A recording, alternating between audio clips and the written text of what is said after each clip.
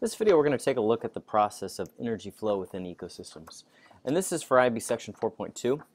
And as we've been talking about in this ecology units, uh, ecology is really the interactions between different organisms.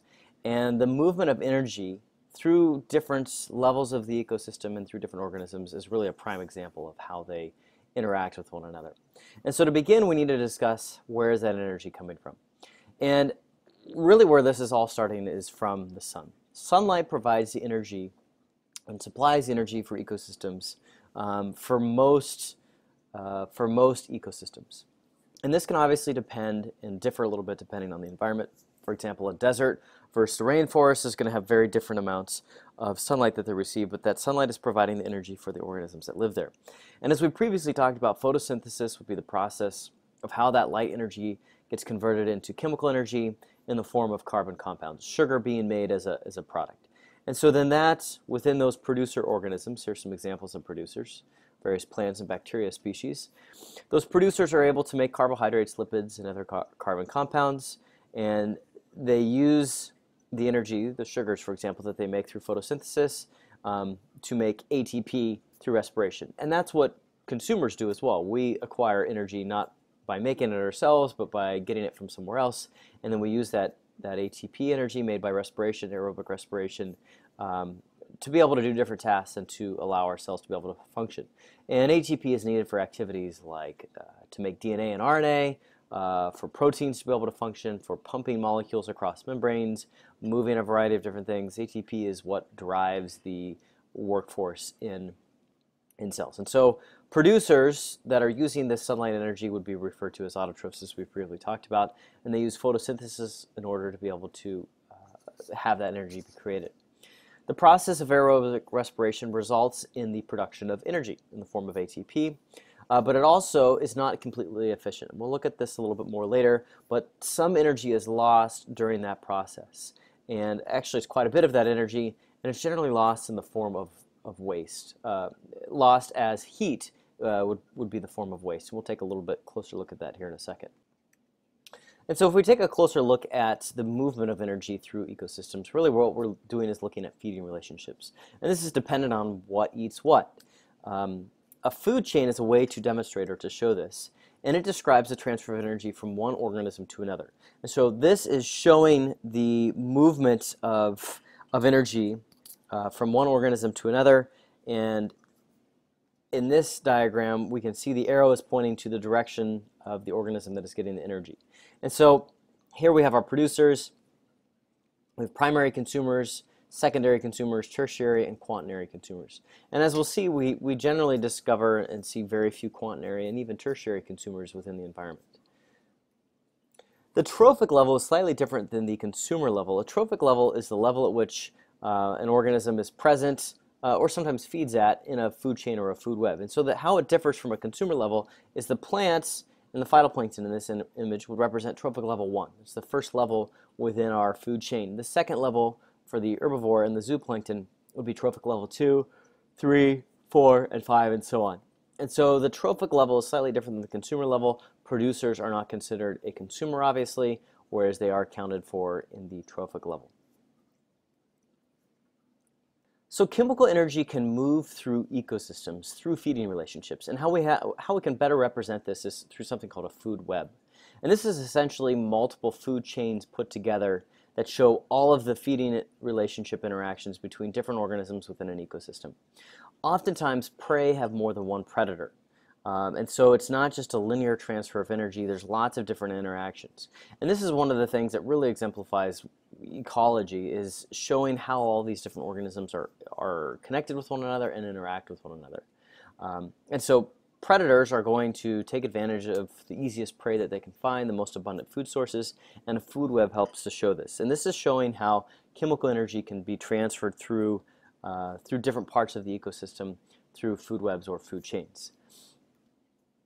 So here's a really nice image that represents a food web. You can see that there are arrows going in a wide variety of different directions, um, in which case the Arctic hare, in this case, is providing a food source for a variety of different organisms um, because, uh, because a lot of different organisms depend on it in order to be able to uh, survive. something that you could do in this image is go through and identify what organisms have what consumer and trophic levels. And something that's important to keep in mind is sometimes, depending on what an organism is eating, their consumer and trophic levels can change. Um, so that's that's something that, that's important to keep in mind. Uh, take a second to pause the video and go through and see if you can identify consumer and trophic levels. So getting back to our feeding relationships, as we said earlier, sunlight is the initial energy source for pretty much all communities.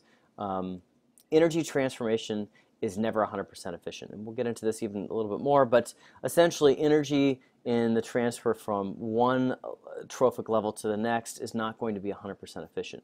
And it's actually very inefficient. Only 10% of that energy actually gets transferred. So during the process of respiration uh, and converting the uh, sugars into ATP, some energy is going to be lost. And usually how that energy is lost is in the form of heat. So as I mentioned earlier, in the process of making DNA and RNA or proteins functioning, uh, when that energy is used, so, some of it is lost in the form of heat. Um, and cells can't take that heat energy. They have to have sugar in order to be able to do work. That, so that heat is just lost to the environment. And that is one of the reasons why the transformation of energy is not 100% efficient is because some of it is lost as, as heat energy. Other ways that energy is lost from, um, from organisms is oftentimes when a living organism is killed and consumed by something else, not all of the material is actually consumed. If you think about bones, for example, most oftentimes another organism is not going to eat the bones or maybe the hair of that organism, and so then that just eventually will break down and degrade into the soil, but that, that energy is not, an, is not consumed by another living organism. Um, initially. So, so that would be also considered lost. Um, so heat, waste, and respiration are, are primary, the primary ways that that energy is lost. A very important part to a feeding relationship is saprotrophic bacteria and fungi, um, detrivores as well, that help to recycle nutrients that are in uh, potentially in the soil uh, or within the ecosystem, phosp uh, phosphate, nitrogen, uh, those would be two good examples. So energy moves through the ecosystem Autotrophs transfer light energy to chemical energy. Energy is lost by heat, respiration, metabolism, waste, as we talked about. Uh, consumers obtain energy by eating other consumers, and the death of an organism passes energy to detrivores and saprotrophs when the dead matter decays. So it's this whole connected cycle. Um, and, and all of that results in energy being moved through the ecosystem. Um, so when we look at this topic of energy loss, we have sun to producers, uh, to consumers, to decomposers, and through each one of those steps, some of that energy is lost. Um, that that light energy is is uh, used to make chemical energy uh, through photosynthesis, and then that chemical energy can be used. Sugar can be used to power a variety of different functions within the cell. Um, organisms can't use that heat energy uh, in order to be able to do work. It's just lost to the abiotic environments. Um, and so what we end up with is about 10% of energy actually is getting transferred. And that energy, that, that heat that is lost, um, can make organisms warmer, um, uh, but it eventually is going to be lost to the abiotic uh, environment, and this is supported by laws of, of thermodynamics. Um, and unfortunately, as I said, it can't be converted uh, back into a usable form of energy.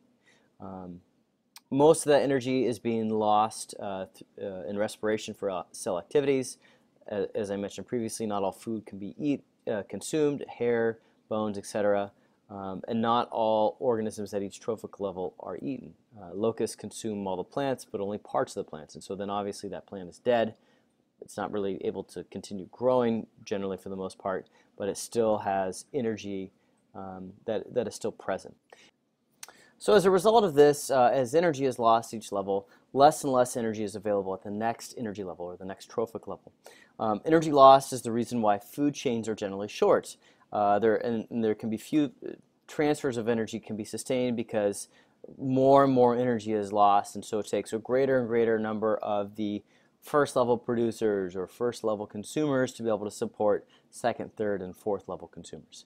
And so what this results in is the structuring of feeding relationships, if you just show it in a 3D model, in the shape of a pyramid, where there's a large amount on the bottom and fewer and fewer uh, as you move up that pyramid. And so this is kind of what it looks like. There's a couple different types of pyramids, pyramids of numbers, pyramids of biomass, um, but the pyramids represent the flow of energy within that ecosystem. And a pyramid of numbers is uh, a creation of a pyramid based on the number of organisms.